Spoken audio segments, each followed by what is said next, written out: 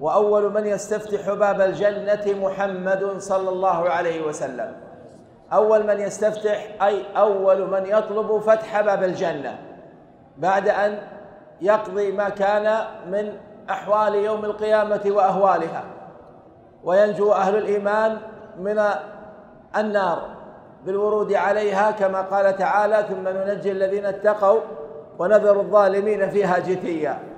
يأتي النبي صلى الله عليه وعلى آله وسلم فيطلب فتح باب الجنة وذلك أن الجنة لها أبواب وقد جاء ذكر أبواب الجنة في القرآن في سورة الزمر وكذلك جاء في السنة في غير ما حديث وأبواب الجنة ثمانية.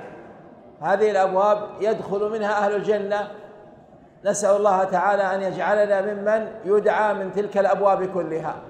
والناس متفاوتون في دخول الجنة من هذه الأبواب.